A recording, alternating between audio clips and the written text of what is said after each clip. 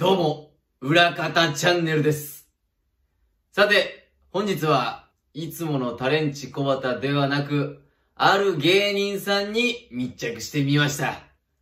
本日の出演者はこいつだ2みたいな 3! どうぞ、4みたいな5。ご覧ください。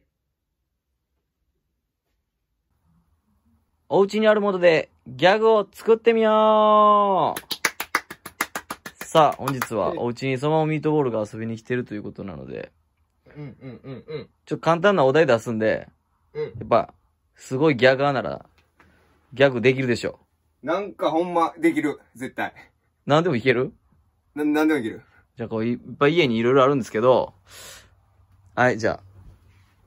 メガネ。メガネね。これ。えー。あ、はい。あなたのメガネかけて滝蓮太郎。元からあるやつじゃない？それ。滝蓮太郎です。それ元からあるやつじゃないの？今できた？滝蓮太郎に何言ってる？やばいやん。滝蓮太郎にギャグの話してもあかんもんな。音楽でしょ。音楽の人やったっけ？そうやな。ギャグはどうやって作るんですか？ギャグは、うん。お風呂入って、うん。一日のこの汚れ落とすでしょ？うん。で、おもんない流れを。おもんない汚れを。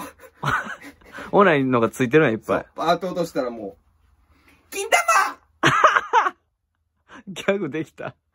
こうやったらみんな面白、いが出てくるから。こういう、そうそう。みんなもこれやったらじゃ親指。あ、あ顔、顔つきで出てきた親指。最初はグー、頭グ 頭グーも出ー、てきチー、パえ、え、ー、アイコ。ああ、アイコか。いっぱいできてるやん。もう全部だからお風呂入ることによって、ハンガハンガーね。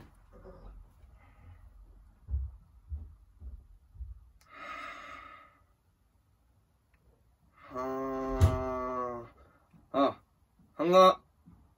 ハン、ハン、ハン、ハン、ん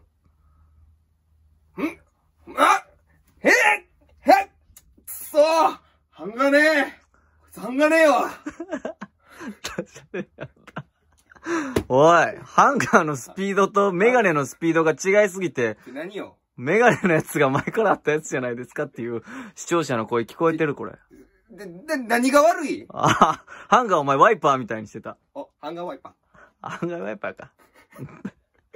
ギャグは、即興より、温め。そ、即興と温めがある。温めのが絶対おもろい。なるほど。僕も YouTube チャンネルやってるんで、た。TikTok もあるしね。TikTok も、えー、そのままミートボールのお弁当箱、ぜひ、チあ、そんな名前ャンネル登録よろしく。そのままミートボールのお弁当箱。お弁当箱。皆さんじゃあチャンネル登録と高評価よろしくお願いします。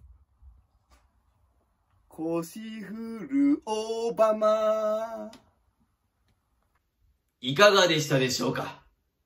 そまおミートボール、YouTube チャンネル、そまおミートボールのお弁当箱もよろしくお願いします。それでは次回をお楽しみに